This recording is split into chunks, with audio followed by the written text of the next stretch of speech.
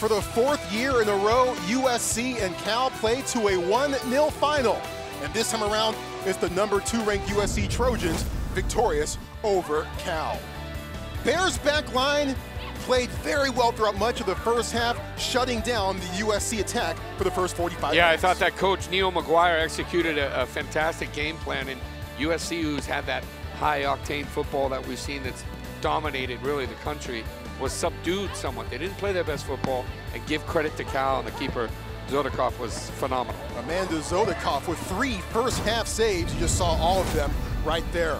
Second half, things started to change a little bit as each team started to trade punches somewhat, but Cal started to get some momentum in some points of the match. Absolutely. You see Kim here. You saw Mateo coming through the middle. I thought that Luca Deza was great. You see the little spin turn right here and explosive acceleration.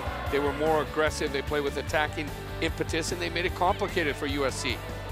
Kaylie Collins coming out to claim that one. Leah Pruitt sending this one just wide of the post.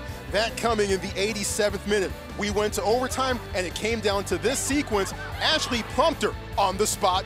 Go, game over. USC wins. Game over. I think Hawking with that, that challenge made the difference. And right on the doorstep.